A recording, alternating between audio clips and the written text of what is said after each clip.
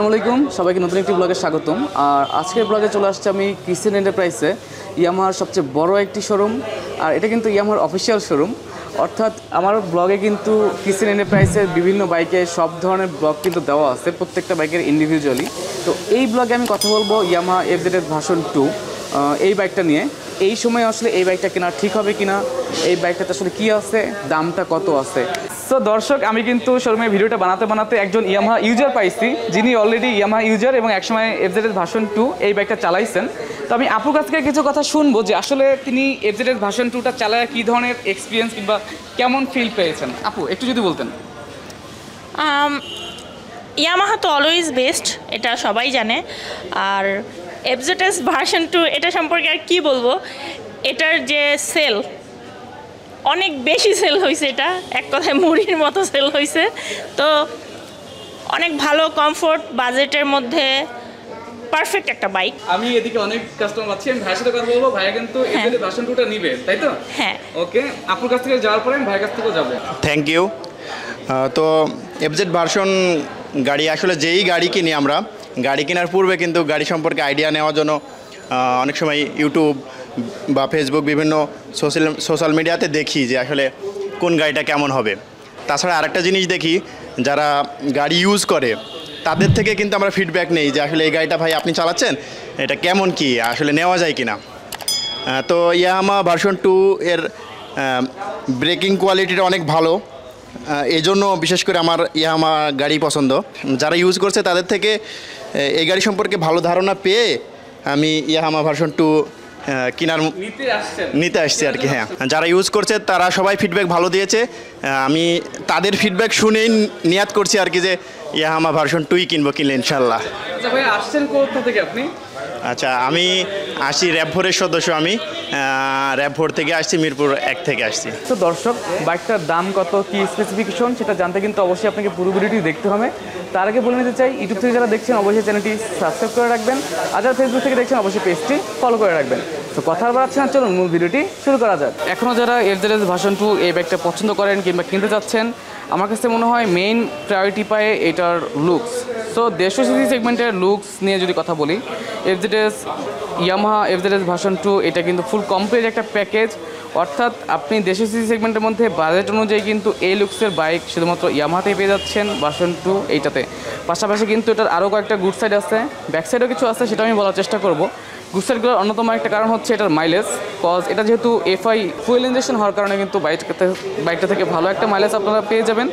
পাশাপাশি এটার যেই কমফোর্ট লেভেল অর্থাৎ আপনি যদি হ্যান্ডেলবারটা থেকে খেয়াল করেন হ্যান্ডেলবারটা কিন্তু ফ্ল্যাট একটা হ্যান্ডেলবার ইউজ করা হয়েছে এবং এই বডি শেপের সাথে এর seating position that's awesome like pillion এটাও খুবই সুন্দর এবং অনেক বাইকে কমপ্লেন থাকে যে পিলিয়নের সাথে খুব কমফোর্ট একটা গ্র্যাব রেল দেওয়া থাকে না বাট ভাষণ টুতে কিন্তু গ্র্যাব রেলটাও কিন্তু পিলিয়নের জন্য খুব কমফোর্টলি ইউজ করা হয়েছে।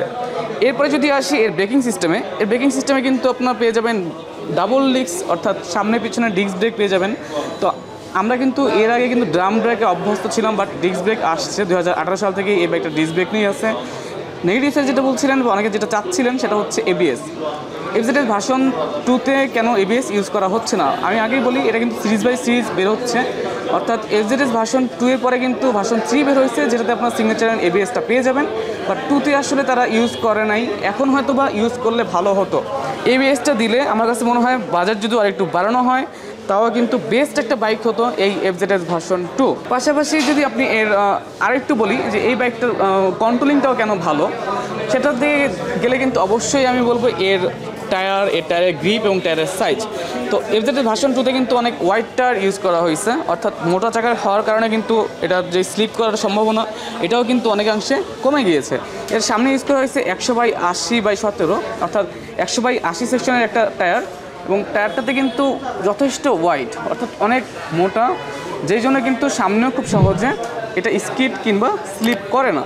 আর যদি আপনি বলেন ব্রেক ক্যালিপারের কথা, সেক্ষেত্রে কিন্তু বাইবডি ব্র্যান্ডের ইউজ করা হয়েছে এবং খুব ভালো মানের একটা ডিস ইউজ করা হয়েছে, যাতে করে কিন্তু আপনি ব্রেকিং যেই ফিলটা ব্রেকিং এক্সপিরিয়েন্স সেটাও কিন্তু খুব ভালো বা খুবই মানে কমফোর্ট ফ্রেন্ডলি রাইডার ফ্রেন্ডলি পেয়ে যাবেন।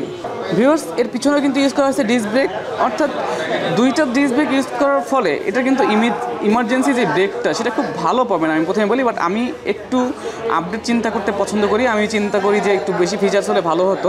অবশ্যই এবিএস হলে এই গাড়িটা আমি বলব বাংলাদেশের যতগুলো বাইক আছে দেড়শো সিসি সেগমেন্টের বাজেট অনুযায়ী সবচেয়ে বেস্ট একটা বাইক হতে পারতো এফজেড ভার্সন টু সো দর্শক, আমি ব্রেকিংয়ের কথা বললাম, আমি কমফোর্টের কথা বললাম, যে কমফোর্ট পাবেন অবশ্যই। মাইলেজের কথাও বলেছি যে ফুয়েল ইঞ্জেকশন হওয়ার কারণে কিন্তু ভালো একটা মাইলেজ পাবেন। অর্থাৎ তারা কিন্তু চ্যালেঞ্জ করে থাকে যে ফোরটি প্লাস মাইলেজ তারা আপনাকে অবশ্যই পাইয়ে দিবে। ফোরটির নিচে পাইলেই কিন্তু আপনারা সার্ভিস সেন্টারে আসবেন, যোগাযোগ করবেন এবং চ্যালেঞ্জ নিয়ে কিন্তু এটার আপগ্রেশনটা করে নিতে পারবেন। আরেকটা জিনিস আমার কাছে মনে হয় যে এই সময় এসে কেন এখনও মানুষজন এই বাইকটা কেনে, তার অন্যতম কারণ হচ্ছে প্রিভিয়াস এক্সপিরিয়েন্স অর্থাৎ এই বাইকটা যারা যারা চালিয়েছেন তাদের কাছে এক্সপিরিয়েন্স ভালো হয়েছে বলেই কিন্তু আরেকজনকে তারা রিকমেন্ডেশন করতে পারে। তো দর্শক, এই ছিল মোটামুটি বাট আরেকটা বলেছিলাম যে আমার কিছু জিনিস আরও আপডেট হওয়া উচিত ছিল। এটার মিটারটা কিন্তু full digital it's okay but যদি গিয়ার ইন্ডিকেটর থাকতো this one will be the best one and আরেকটা জিনিস আমি বলব, সেটা হচ্ছে এর হেডলাইট এর হেডলাইটেও কিন্তু আসলে হ্যালোজেন লাইট ইউজ করা হয়েছে। এটা যদি এলইডি হইতো, এটাও অনেক ভালো হইতো। এটার ইন্ডিকেটর লাইটগুলো আমি আসলে এখন নিতে পারি না যে দু হাজার বাইশে ইন্ডিকেটর লাইটগুলো আরেকটু আপগ্রেশন দরকার ছিল বাইকটাতে তো এটা খুবই মানে বাইকের জন্য এবং যারা বাইক লাভার আছেন, যারা ইয়ামা লাভার আছেন, তাদের জন্য কিন্তু ভালো একটা অপশন অবশ্যই আসতো। কজ আসলে আরেকটা জিনিস কি, একটার মধ্যে আসলে সব কিছু হয়ও না। তো এইটা একটা বাধ্যবাধকতা বাধ্যবাধকতা থাকে। আবার দেখা গেছে, এত কিছু ইউজ করতে গেলে কিন্তু বাজেটটাও অনেক বেশি বেড়ে যায়। সো সেক্ষেত্রেও অনেক কিছু চিন্তা করতে হয়। কোম্পানি হয়তো বা কাস্টমারদের বিষয়গুলো চিন্তা করেই কিন্তু এটাকে আসলে এই বাজেটে দিতে পারে। আর এবার আসি যেহেতু বাজেটের কথা বলছিলাম, যে বাইকটা আসলে দাম বর্তমানে কত? যেহেতু ডলারের রেট এখন অনেক বেশি হাই পার্সেসও তাদের সব কিছুই কিন্তু দামগুলা বেশি ম্যাটেরিয়ালসের দামগুলোও বেশি দিয়ে কিনতে হয়। আমার জানা নেই আসলে বাট ডেইলি লাইফে আমরা যারা ডলারের সাথে রিলেটেড আমরা বুঝতে পারি যে আসলে ডলারটা কীভাবে মানে বাংলাদেশি টাকায় এক্সচেঞ্জ হচ্ছে। তো এই মুহূর্তে কিন্তু বাইকটার দাম আছে দুই লক্ষ পঁচিশ হাজার টাকা। সো ইয়ামাহার প্রত্যেকটা অফিসিয়াল শোরুমে কিন্তু এই বাইকটা দুই লক্ষ পঁচিশ হাজার টাকা হলে কিন্তু আপনারা পেয়ে যাবেন। আর আমি এই মুহূর্তে আসছি কিসেন এন্টারপ্রাইসে অর্থাৎ ইয়ামাহার সবচেয়ে বড় শোরুম এই শোরুমটাতে। এই শোরুমটার ঠিকানা কিন্তু মিরপুর ষাট ফিট রোড ষাট ফিটে আসলে পুবালি ব্যাংক কিংবা কিসেন এন্টারপ্রাইজ লিখে সার্চ দিলেই কিন্তু আপনারা পেয়ে যাবেন। তো এই ছিল মোটামুটি এজেডএস ভাষণ টুর আপডেট প্রাইস স্পেসিফিকেশন কেন আপনি কিনতে পারেন অথবা দু হাজার বাইশে এসে কিনলে আদৌ ভালো হবে কিনা বা কোন কোন জিনিসগুলো দিলে আরও বেশি ভালো হতো। আমি আমার মতো করে বলার চেষ্টা করছি আপনাদের অবশ্যই আপনারা আপনাদের বিবেচনায় রাখবেন এবং আপনার বাজেট অনুযায়ী যদি হয়ে থাকে অবশ্যই দেখতে পারেন। আর আমি বলব যেহেতু আপনি বাইক কিনবেন, জেনে বুঝে দেখে শুনে কিনবেন, তবে কম্পেয়ারলি যদি করতে চান, অনেক কিছু আপনাকে বিবেচনা আনতে হবে বাজেট লুকস মাইলেজ আমাদের জন্য মাইলেজটা অনেক গুরুত্বপূর্ণ কজ ডে বাই ডে কিন্তু ফুয়েলের দামও বাড়তেছে। সো মাইলেজটা অবশ্যই মাথায় রাখা উচিত।